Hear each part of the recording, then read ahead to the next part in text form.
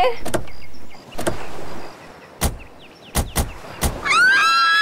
यहाँ मैं और आयशा रहेंगे थैंक्स करण। इतना तो मैं कर सकता हूँ ना तुम लोग के लिए हम्म? अब तुम्हें और आयशा को उस सड़े हॉस्टल में रहने की कोई ज़रूरत नहीं। बिल्कुल सही कहा करण। वैसे करण मधु मुझे लगता है ना कि जिस दिन तुम्हारी और मधु की शादी हो जाएगी ना उस दिन तुम तो मधु को पूरा के पूरा मोहल्ला ही गिफ्ट में दे देने वाले हो।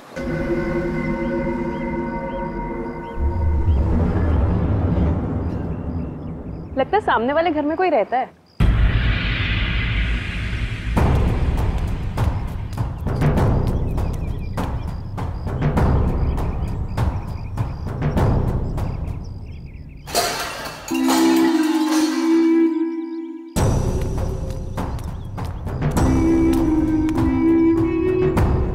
हाय आई एम मधु ये आयशा हम आपके पड़ोसी हैं। हाय और आप? मैं मैं सामने के घर में रहता हूँ अपनी माँ के साथ। मैं, मेरा नाम विनय है और वो, वो खाना अच्छा बनाती है। अब वो वो कौन? मेरी माँ खाना अच्छा बनाती है। तुम तुम कौन हो? मैं करण हूँ। मधु का boyfriend boy boy boyfriend boyfriend girlfriend boyfriend गलत बात है। नहीं नहीं नहीं। माने कहा है बॉयफ्रेंड गर्लफ्रेंड गलत बात है। विनायक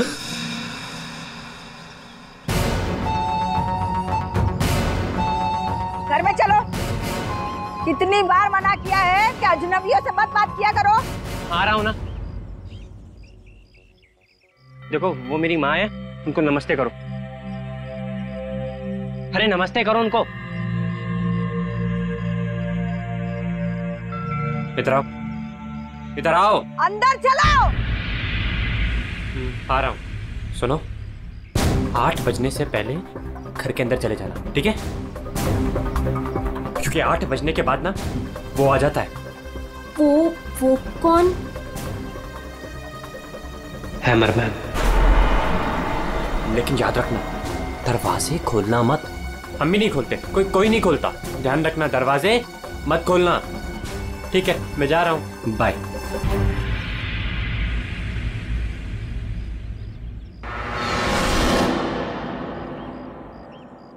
दिमाग खराब है इसका यार। इसकी माँ से बाँध कर क्यों नहीं रखती है? क्योंकि उसकी माँ भी तो उसकी तरह अजीब ही है। एक्चुअली चलो सामान रखते हैं। यू आर ऑलराइट ना? या I am fine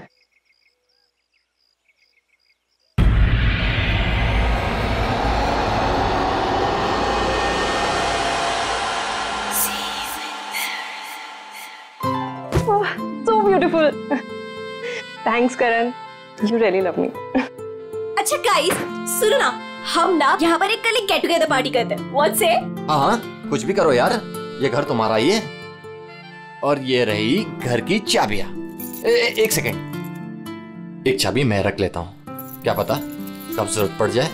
आयशा एक चाबी तुम भी रख लो। ये लो। थैंक्स ओ नो क्या हुआ? सिक्स फोर्टी हो गए। मुझे मुझे सर्विस सेंटर जाना था अपनी कार लेने। और उसके बाद फिर माँ को भी मिलने जाना है। करण कर कर कर। एक मिनट एक मिनट रुको। अ, मुझे रास्ते में अपनी कजिन क्या ड्रॉप कर दोगे? वो प्रोजेक्ट कंप्लीट करना है मुझे। अरे तुम मेरे साथ चलोगी तो मधु का ख्याल कौन रखेगा? करण मैं अपने घर में हूँ जंगल में नहीं हूँ। तुम आयशा को लेकर जाओ don't worry I be fine are you sure yes thanks Madhu. लेकिन मधु अंदर से दरवाज़ा बहुत अच्छे से बंद कर लेना। ओके ठीक है चलो बाय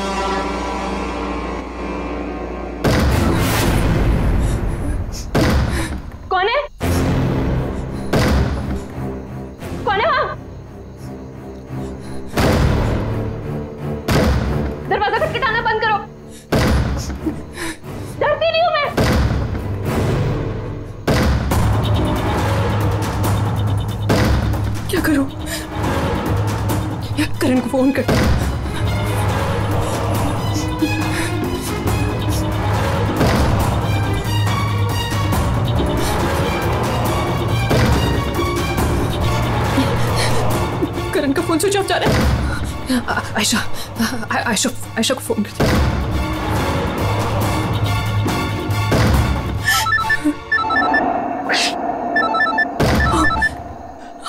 क्या करूँ अंधेरा करती हूँ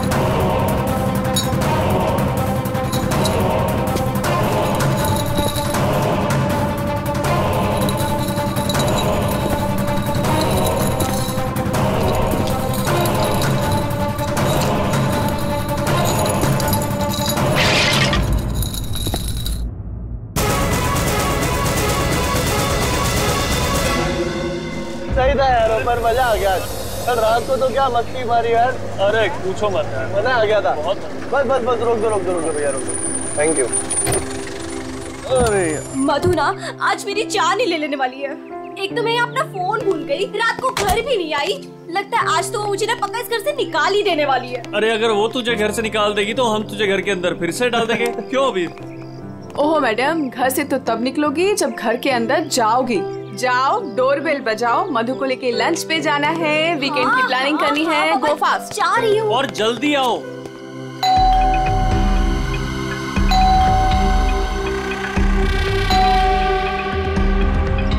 लगता है ना मैडम अभी तक सो रही है। दरवाज़ा ही नहीं खोल रही है। आयशा तेरे पास इस घर की एक्स्ट्रा चाबी है ना?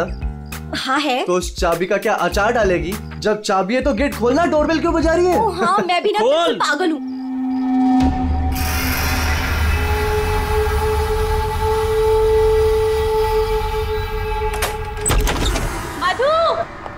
अरे मधु कब तक सोएगी?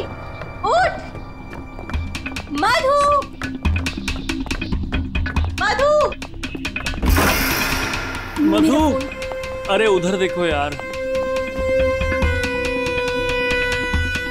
मधु। मधु बाथरूम में भी नहीं है। अरे वो तो बाहर भी नहीं है यार। यार ये मधु कहाँ चली गई है? मुझे बहुत टेंशन हो रही है तू ठीक तो होगी ना? मधु। मधु। मधु। मधु।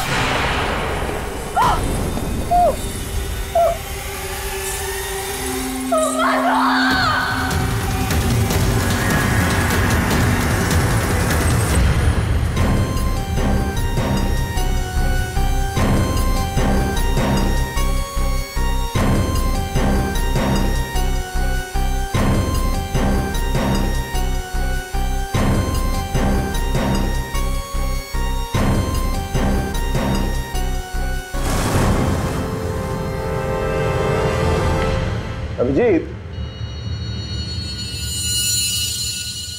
इस हथौड़े से जिस पर भी वार किया गया होगा ना लगता नहीं वो ज़िंदा बचा होगा। सर मगर लाश कहाँ है? खूनी लाश ले गया और ये हैमर यहीं छोड़ गया। और हथौड़े भी ऐसा जिस पर कहीं कोई फिंगरप्रिंट के निशान नहीं। और सर यहाँ पे तो कोई तोड़फोड़ भी नहीं मची हुई है। सब चीज़ अपने जगह पे।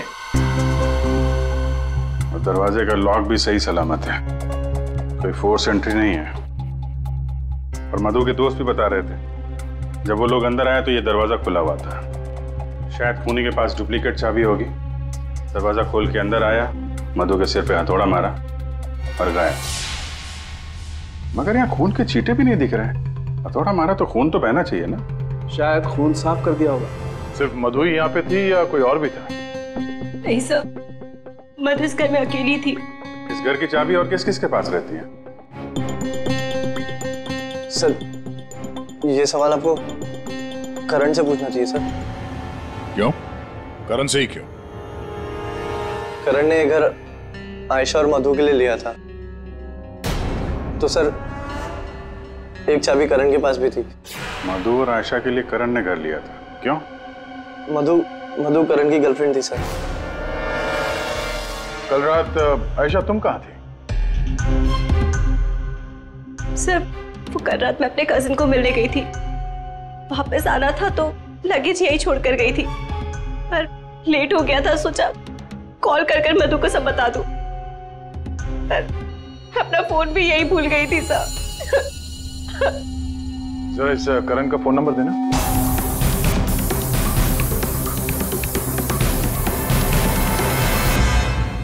सर ऑफ़ वो मेरे पास उसकी मम्मी का नंबर है। कल करण जब मुझे कजिन के यहाँ छोड़ने गया था तो कह रहा था कि वो घर जा रहा है मम्मी के पास।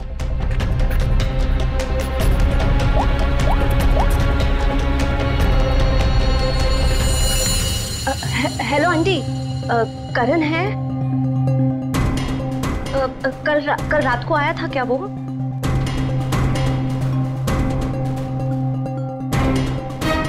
नहीं आंटी कुछ कुछ नहीं। हो सकता है मधु के यहाँ गया हो। मैं आपको बाद में कॉल करती हूँ। तो करण कल रात अपने घर भी नहीं पहुँचा और यहाँ भी नहीं आया? सर मुझे आपको एक बात बतानी थी। वो हमारे नेबर्स जो है ना उन्होंने कहा था कि यहाँ पर एक हैमर मैन आता है रात को। तो कहीं उसने तो कुछ नहीं कर दिया। हैमर मैन किसने बताया तुम्हें ये? कौन है ये? विनय बेटा। कोई आ रहा है? हाँ माँ। कोई याद हो रहा है?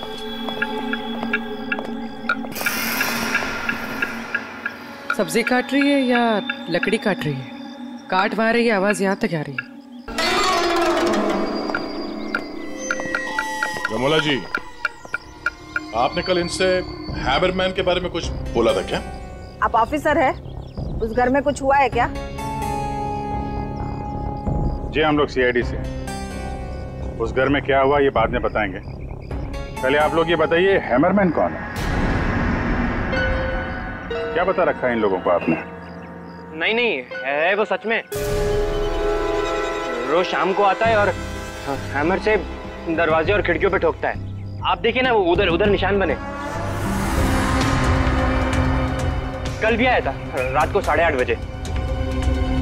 सा, सा, सामने के घर में ठोक रहा था। इसीलिए मैंने पूछा कि उस घर में कुछ हुआ है क्या? आपने हैमरमैन को देखा है? देखा है। आपने हैमरमैन का चेहरा देखा? हाँ देखा है। कैसे दिखता वो? वो मास्क पहनता है। अच्छा। कल रात भी कुछ हुआ था? कुछ देखा है? सुना है आप लोगों ने? हाँ हाँ देखा था।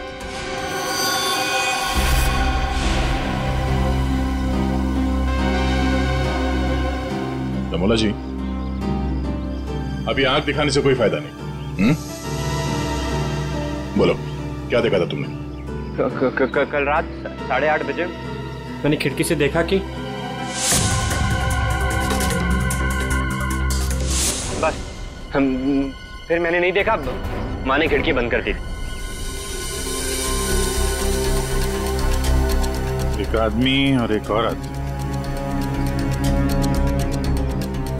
वो आदमी तो करण हो सकता है। और सर वो औरत? करण की कोई साथी? हम्म दोनों अंदर गए मधु का खून किया और लाश लेके पीछे के रास्ते से निकल गए। एक बार पीछे की तरफ़ देख लेते हैं। आप लोग यहीं पे रुकिए। पूर्वी। इनसे हैमरमैन का स्केच बनवाओ। पीछे के दरवाजे से वही घुसेगा जिसे अपने पड़ोसियों की नज़रों से बचना होगा। तो नहीं होगा जो मधु को लेकर निकल गया।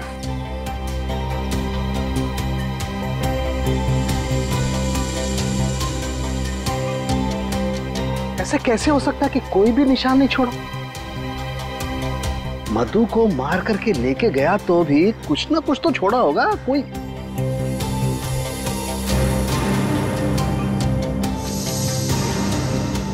एक मिनट। ठीक है।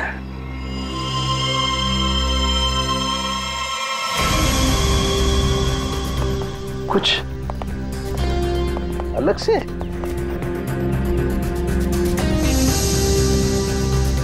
इतनी मिट्टी यहाँ पे?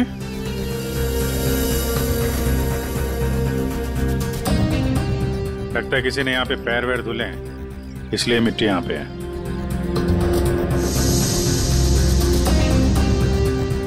अभिजीत ये मिट्टी में जो है ये बहुत खास है। ये देखो इस मिट्टी में एलगी है। शैवाल? हम्म शैवाल। एक तरीके की काई होती है और ये काई। यहाँ की मिट्टी में नहीं हो सकती। ये तो ऐसी मिट्टी में होगी जो पानी वाली जगह होगी कोई तालाब कोई झील कुछ ऐसा। झील तालाब। ये तालाब है जो मधु के घर से सबसे नज़दीक।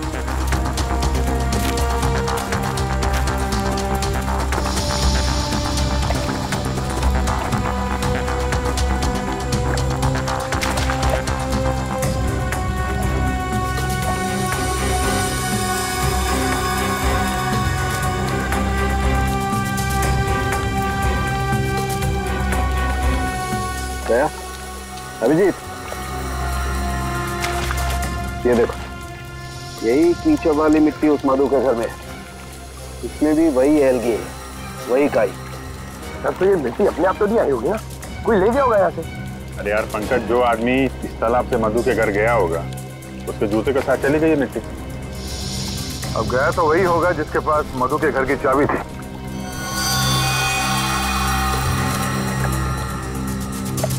पर कौन गया होगा? अब चाहे वो हैमरमैन हो या फिर कोई और। हैमरमैन ये हैमरमैन ने किया है क्या? वो काम तो उसी का ही लग रहा है। हाँ।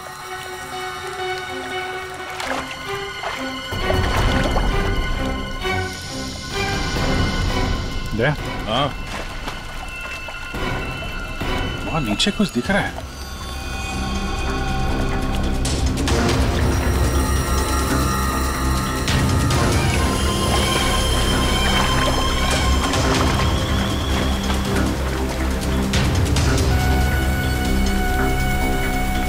हाँ। कुछ है तो सही वहाँ पर। ड्राइवर्स को बुलाते हैं। और ट्रेन भी।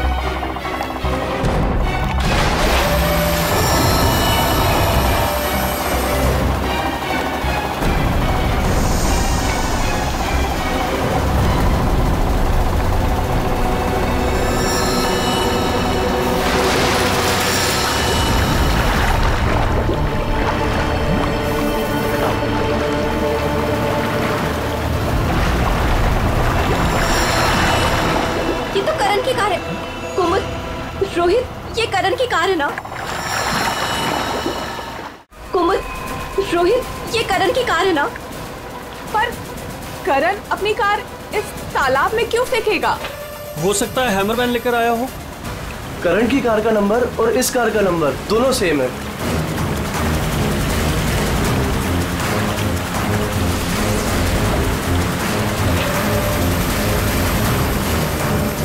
लेकिन ये कार यहाँ आई कैसे होगी? अब ज़ाहिर सी बात है करण की कार अपने आप इस झील में तो नहीं गई होगी। और कल करण ने आयशा से कहा था ना जब अपनी माँ के घर जा रहा है। तो अपनी माँ के घर तो नहीं गया। मधु के घर गया। मधु के घर की चाबी भी थी उसके पास। लगता ये करण ही हैमरमैन हो। ये हैमरमैन के साथ मिलके उसने मधु का फ़ोन कर दिया। लाश इसमें डाल दी और कार पानी में फेंक दी। आप लोग आप लोग यहीं पर रुकिए।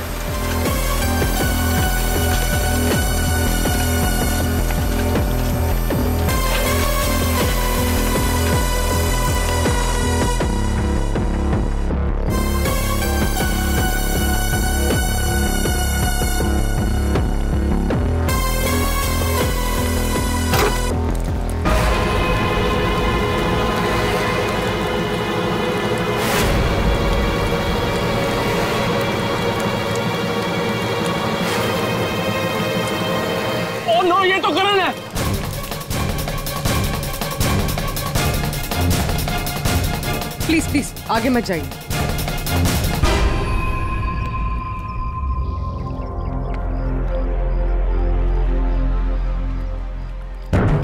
खोपड़ी बुरी तरह से टूट गई है। किसी भारी चीज़ से मार किया है। थोड़े से ही मारा होगा। हैमरमैन ने मारा है। सर मतलब हैमरमैन ने करण को मारकर लाश गाड़ी में डाल दी और गाड़ी तालाब में फेंक दी। फेंका नहीं पूर्वी इधर ढलान पे धक्का दिया। और गाड़ी सीधा झील में। सर मगर अगर गाड़ी को धक्का मार के वहाँ तालाब में डाला है तो फिर ये नॉर्मल पतला दुबला आदमी नहीं होगा सर। ये हैमरमैन बहुत तगड़ा होगा सर हट्टा कट्टा या फिर दो लोग होंगे। अब ये करण तो मिल गया। मधु को ढूंढना है।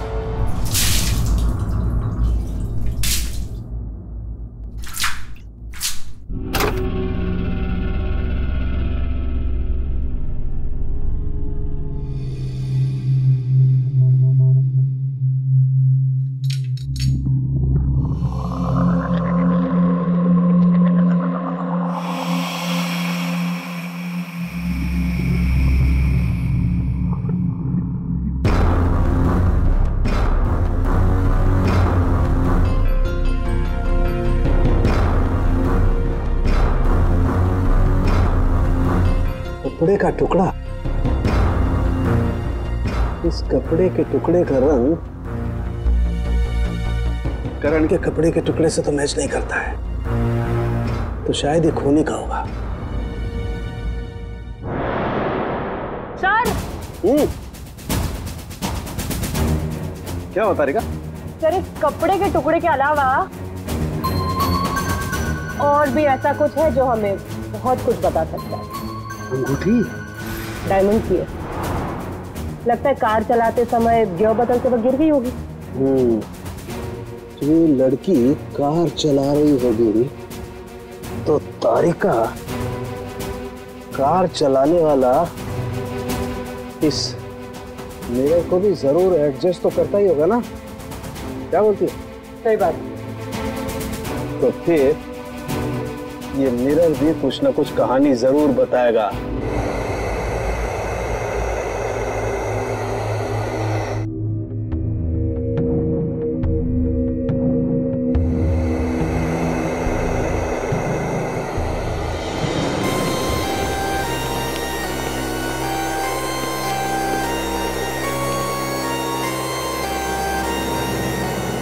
शीशे के बाल सुखा रहे हैं क्या?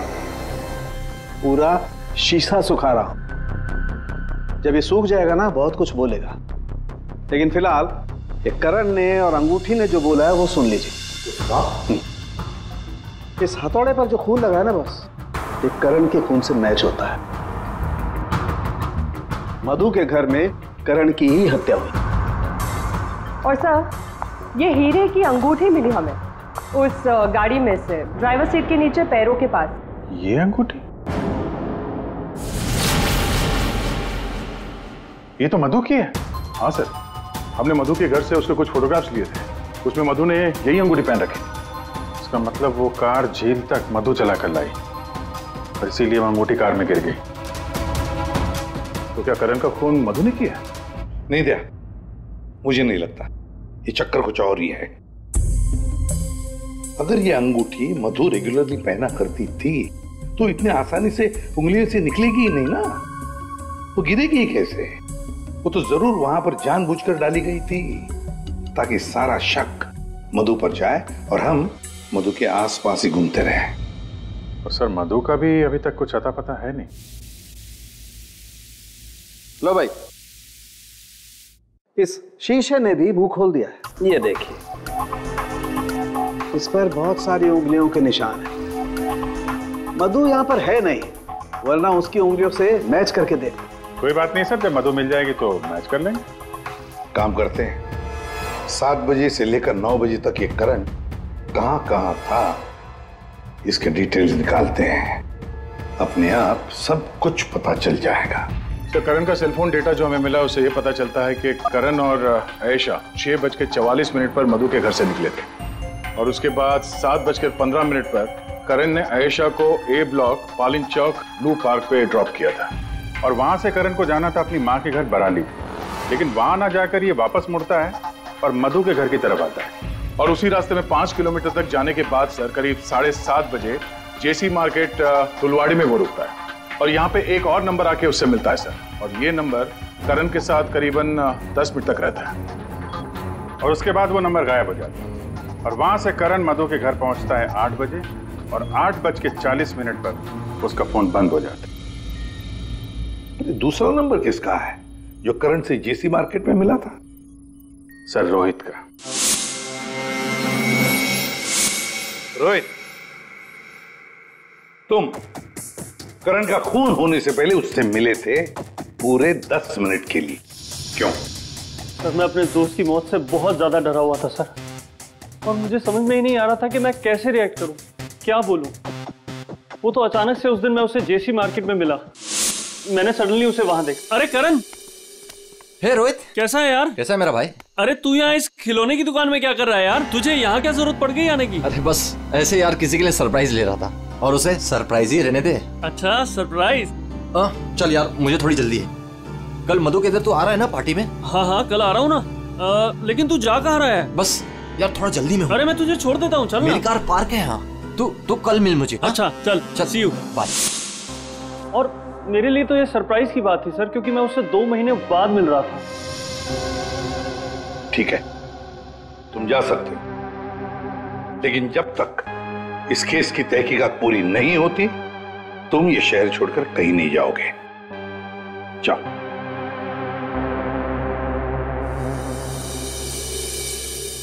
बड़ी अजीब बात है ये करण।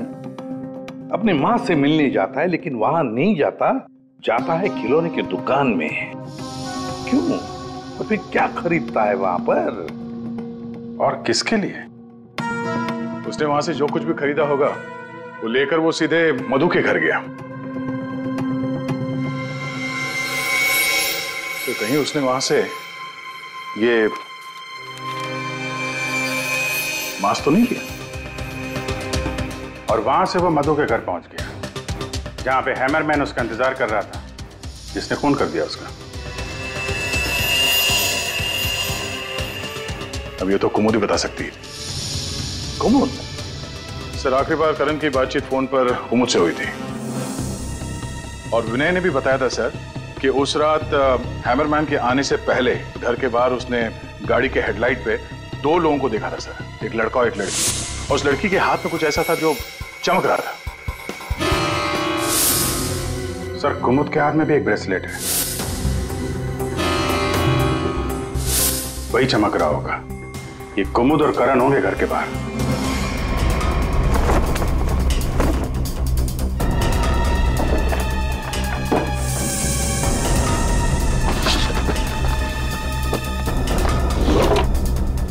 जब से करण की लाश मिली है तालाब में, तब से खूनी और भी होशियार हो गया है। सर, लगता है ये टीम बहुत छोटी है, सर। कुमुद मधु और ये हैमरमैन अरे लेकिन ये हैमरमैन मिले तो सही। अभी तक तो सिर्फ़ उसका हैमर ही मिला है तो उसने हमारे लिए छोड़ा है। मैन तो गायब ही है। सर सर ये कुमुद तो भागने की तैयारी से घर से निकली। सारे कपड़े लेकर भागी और उसका मोबाइल भी स्विच ऑफ़ आ रहा है। अरे ये कहाँ से आ गए यहाँ पे? कौन कहाँ से आ गया? ये देखो। इसका मतलब है ये कुमुद रमोला और विनय को पहले से जानती थी। एनवेलप पे डेट पिछले महीने की है। और ये कुमुद बोल रही थी कि ये रमोला और विनय को पहले कभी मिली नहीं। तो कहीं ये माँ बेटे रमोला और विनय इस पूरे साजिश में शामिल तो नहीं मिलते हैं माँ बेटे से।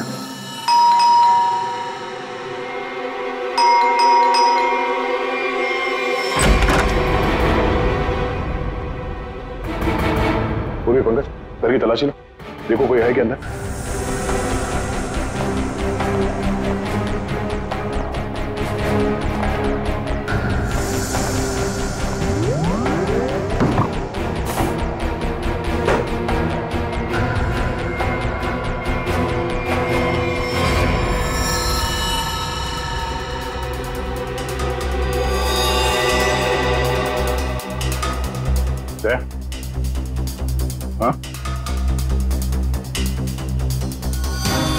ये दीवार देखो यहाँ।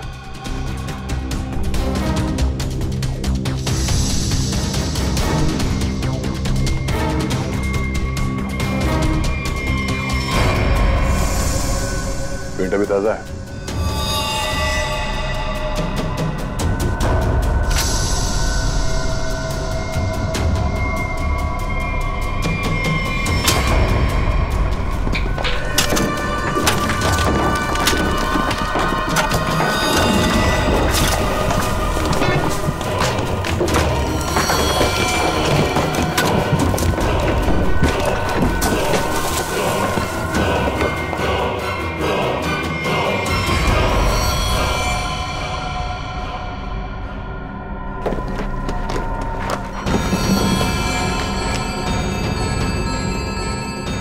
ये तो मधु है।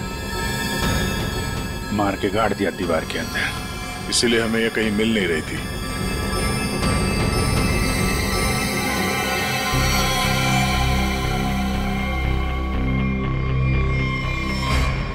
सर इसे भी हथौड़े से मारा। इसके सर पे भी वैसी ही चोट है जैसे करण के सर पे थी। यार ये जो जो कुछ भी हुआ है कल रात साढ़े आठ बजे के बाद ही हुआ है। बारिश के दिनों में ये दीवार इतनी जल्दी सूख कैसे गई? इस दीवार के प्लास्टर को सुखाने के लिए कहीं से हीटर या इंडस्ट्रियल हीटर मंगाया होगा। सर अभी यहाँ पे रास्ते पे मोड़ पे मैंने एक वो जो इंडस्ट्रियल इक्विपमेंट भाड़े पे देते हैं ना सर उसकी दुकान देखी थी सर। जाके पता करो।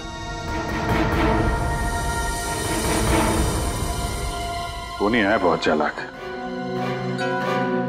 अच्छी प्लानिंग कर रखी थी। उसको मालूम था कि मधु यहाँ सामने वाले मकान में रहने आने वाली है। हम्म। और यहाँ पे हैमरमैन होने का अफवाह फैला दिया ताकि शक उस पर नहीं हैमरमैन पे जाए। और तीनों फरार हैं। रमोला विनय और कुमुद।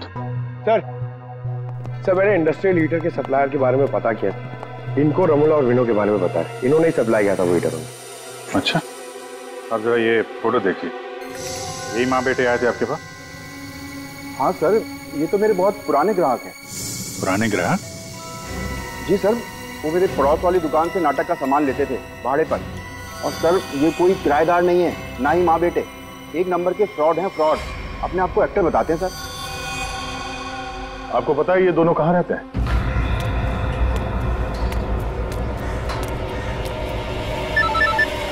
तो निकल मैं मिलता हूँ हाँ चल मिलते हैं। हेलो? मैं चंपा बोल रही हूँ चाय पानी फ़िल्म से।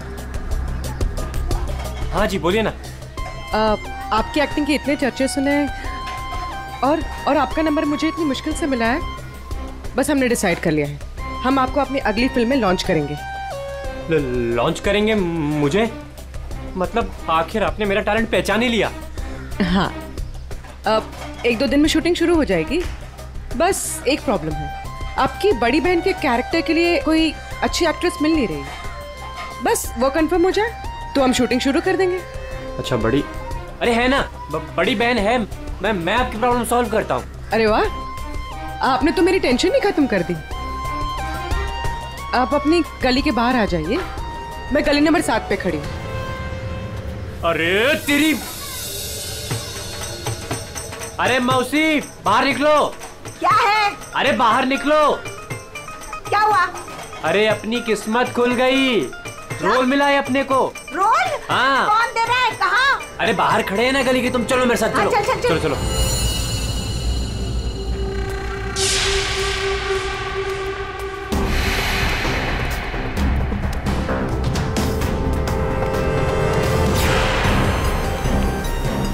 सीआईडी हाँ सीआईडी कहाँ जा रहा है, हैं? अच्छे मुजरिम का किरदार तो तुम लोगों ने निभा दिया अब जरा एक अच्छे गवाह का किरदार भी निभाओ।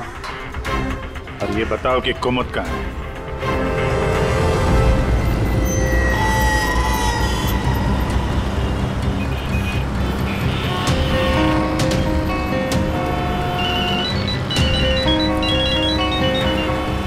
अरे तुम यहाँ मैंने ध्यान ही नहीं दिया।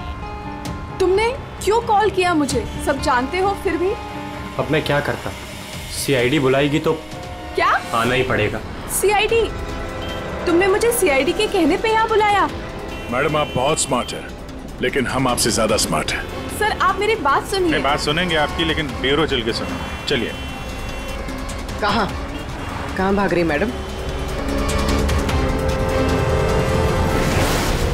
पैदल ही जाएगी क्या सीआईडी ब्यूरो तक? गाड़ी लाए हम तुम्हारे। लिए। चल। और कितना इंतज़ार करना पड़ेगा? आखिर कोई बताता क्यों नहीं है कि हुआ क्या है? ज़रूर बताएँगे आयशा जी ज़रूर बताएँगे। लेकिन इससे पहले कि हम बताएँ तुम हमें बताओ कि हुआ क्या था। मैं? मतलब? मतलब यह कि आप और मधु एक नए घर में शिफ्ट होती है जहाँ पहले से ही कुछ गड़बड़ चल रही होती है। ऐसे में आप मधु को उस घर में छोड़कर अपने किसी कजिन के घर चली जाती हैं और तो और अपना मोबाइल फ़ोन भी वहाँ रख के जाती है। ताकि मधु तुमसे तो मदद न मांग। अजीब है ना? सर मधु मेरी बहन जैसी थी। उसके साथ कुछ गलत करने के बारे में मैं सोच भी नहीं सकती हूँ। अच्छा बहन जैसी थी। बहन तो नहीं थी ना? हाँ? अभीर इस पूरे इन्वेस्टिगेशन में किसी ने तुम पर एक बार भी शक नहीं किया। क्यों?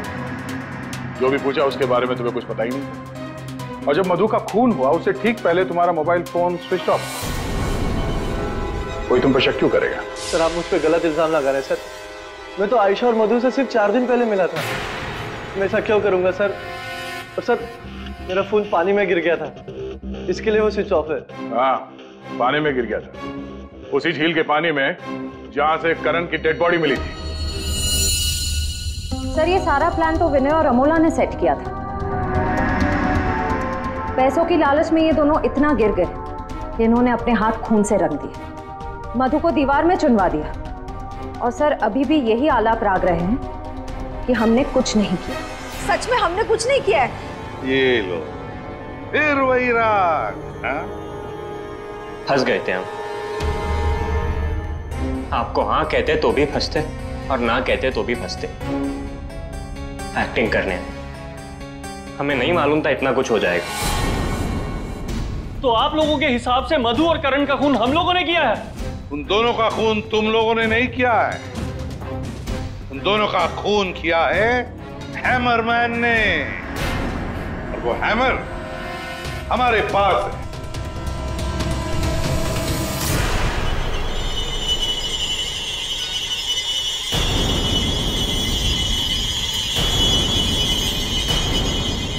कुमुद ये कहाँ थी? ये हैमर छुपाने गई थी। हमने ढूंढ निकाला है ना? आई एम सॉरी रोहित मुझे माफ़ कर दो। तुमने मुझसे वादा किया था कि तुम मेरा नाम नहीं लो। मैं तुम्हें छोड़ूँगा।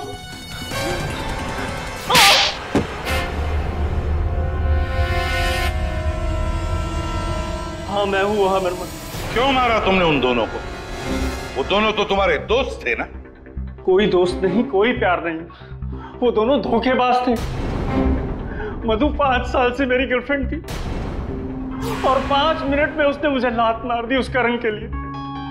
जानते हैं क्यों? क्योंकि उसके पास पैसा था। और उसी समय मैंने डिसाइड किया कि मैं उससे बदला लूँगा। उन दोनों से। तुम तुम तुमने इसका साथ क्यों दिया? मैं रोहित से बहुत प्यार करती हूँ। मुझे उसका साथ देना पड़ा।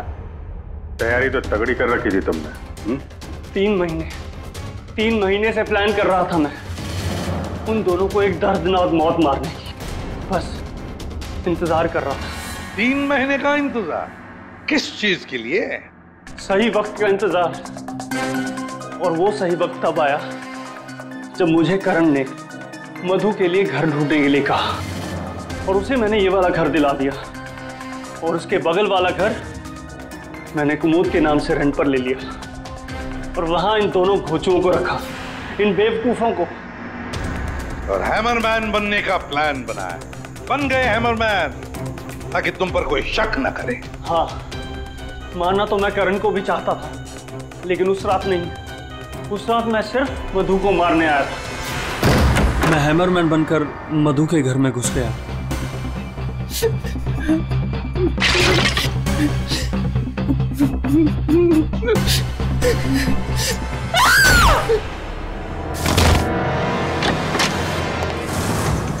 और मुझे इस बात का बिल्कुल भी अंदाज़ा नहीं था कि करण भी वहाँ पर आ जाएगा।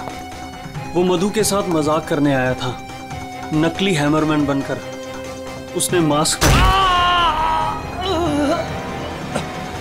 जब मैंने उसे मार दिया तब मुझे पता चला कि वो दरअसल करण ही था। मैंने कुमोद, रमोला और विनय की मदद से दोनों लाशों को ठिकाने लगा दिया। रोहित जी, ये हथौड़ा हमें ना भी मिलता ना, तब भी तुम बच नहीं सकते थे। क्योंकि करण और मधु ने मरने के बाद भी हमें बताया कि खूनी तुम हो। रोहित, कुमुद, रमोल और विनय तुम सबने मिलकर मधु और करण का खून किया है। अब जेल में बैठकर हैमरमैन की नई नई कहानियाँ सुनाते बैठना इन सबको तब तक फांसी का ऑर्डर तो आ ही जाएगा।